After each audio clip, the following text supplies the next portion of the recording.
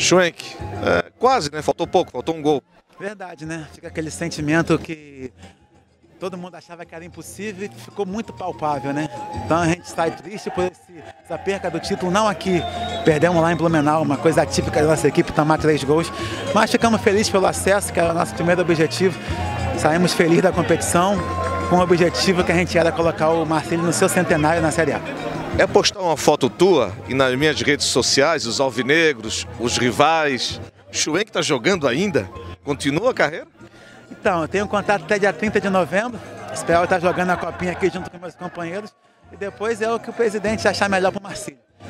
Desde que eu cheguei aqui, eu vim para ajudar e espero estar fazendo isso até o final da minha carreira. Estás com?